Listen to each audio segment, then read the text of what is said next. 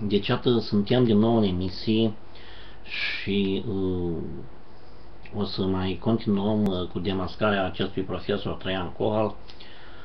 Uh, vă spun, eram foarte mic, aveam cam câteva luni și uh, eram aici la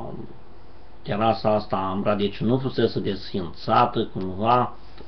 aici încă să mai bea bere, să mai mâncau mici, um, părea ceva distat și particular. Și atunci am văzut prima dată pe acest profesor Traian Cohal, deci încă era la liceu Alexandru Ioan Cuza, bea, deci năbădăios, și avea un sistem de mărire, deci un sistem de ăsta de umflare, uh, practic începe să-l înjure pe tara, spune că e hoitar, bătrân, hoitar de uh, ciurchi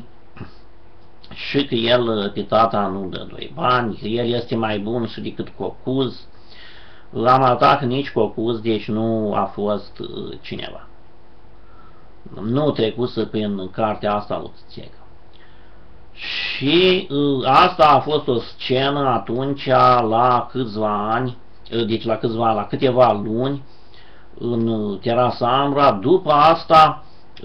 a mai fost o scenă din asta acasă, tot sinistră, în care profesorul ăsta tot așa biat, cu sistem anti-alcool, a răspândit în casă niște substanțe din astea, vă spun cum sunt, um, fac o dilatare a atomilor și a moleculelor, să spunem, într-un uh,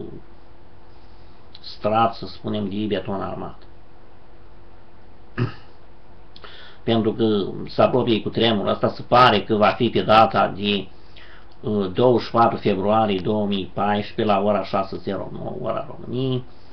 aici, cu tremurul din 1977,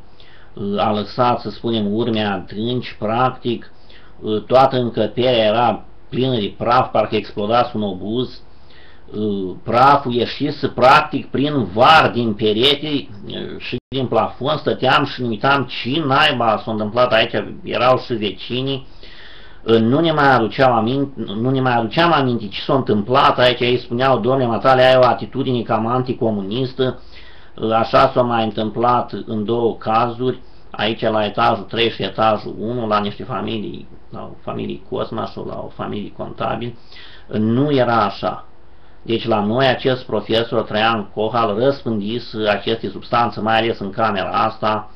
uh, îi spunea germană, nu era germană, care făceau aceste dilatări uh, de molecule și slăbeau rezistența pereților.